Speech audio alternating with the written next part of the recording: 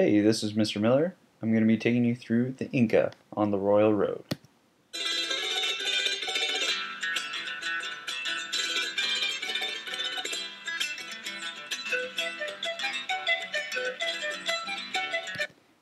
Alright, that's enough of that. Okay, I'm just going to show you a couple images that detail the geography of the area where the Incan Empire existed between 1400 and CE and 1500, well, mid 1500s CE. I'm just going to slide through. This is the Atacama Desert. High elevation. Huge mountains, the Andes. Lots of snow.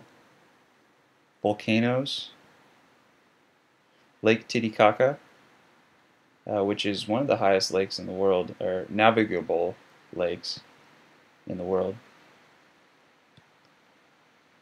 and extended to the Pacific coast, uh, all along the western side of South America. Okay, so let's look at a few details on the Incan Empire. Uh, it stretched around 2,500 miles uh, along the Andes Mountains, north to south. Uh, territory covers modern-day Peru, Ecuador, Bolivia, Chile, and Argentina. And they used a system of roads to travel that huge area, uh, what we would call royal roads. And there was a total of 15,000 miles of roads that crossed jungles, mountains, deserts, and rivers. Here you can see one of the royal roads. Uh, pretty remarkable engineering. And messengers uh, traveled these roads delivering uh, important messages to the emperor or nobles uh, in Cusco or throughout the empire.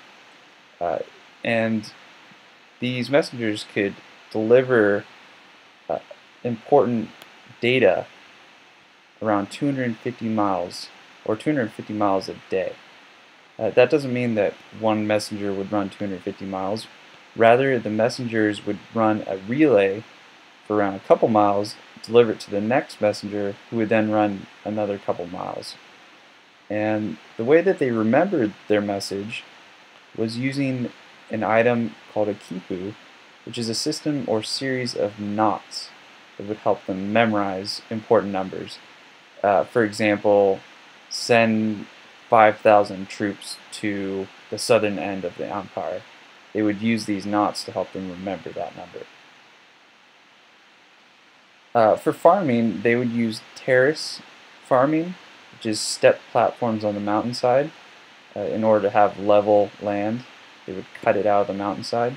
Uh, they were required to give most of their food to the government, which the government would then take and give to the sick or disabled, or people who couldn't work. And they grew squash, peppers, beans, peanuts, corn, and most importantly, potatoes. Here you can see the, the terrace technique cut out into the hillside.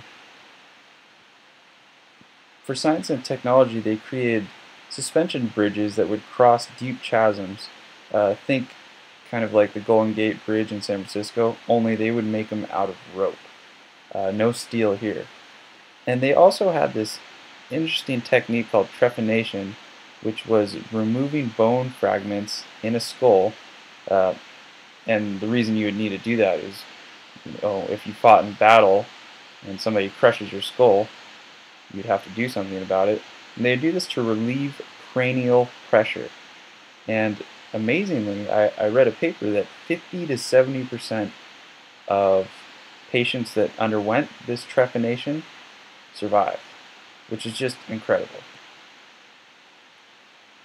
And here you can see some different warrior types. Uh, you'll notice a lot of blunt type weapons, meaning like giant hammer sort of things that were meant for crushing skulls, and slings that would throw rocks, which would give good reason for this trephination technique.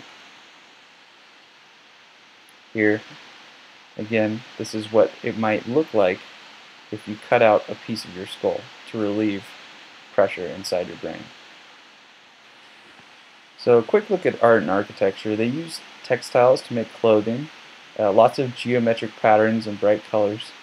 Uh, for stone or for buildings, they would use giant stones, and they were such good architects and engineers that when they joined the buildings together, or the stones together, it didn't require any mortar. So no glue between the different stones to hold the building together.